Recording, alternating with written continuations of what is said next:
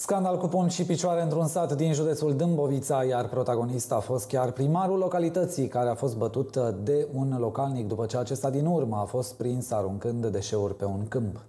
Bărbatul din imagini ar fi tot cel prins de edirul comunei Dobra cum arunca sute de kilograme de deșeuri pe un câmp de la marginea localității, așa că primarul a vrut să îi atragă atenția că va răspunde pentru faptele sale și l-a avertizat că deja a anunțat garda de mediu și poliția. Însă efectul nu a fost cel scontat de edil. Atât el cât și un alt localnic care îl însoțea au fost luați la bătaie de individ. Cel care îl însoțea pe primar a încasat o lovitură extrem de puternică în zona capului și a fost transportat la spital. Se pare că individul agresiv ar fi amenințat că răzbunarea lui nu se va opri aici, așa că polițiștii au patrulat toată noaptea prin comună pentru a preveni izbucnirea unui conflict mai amplu. Cazul a ajuns acum în atenția procurorului, însă între timp în comună, poliția patrulează pentru a preveni izbucnirea unui alt eventual conflict între părțile implicate.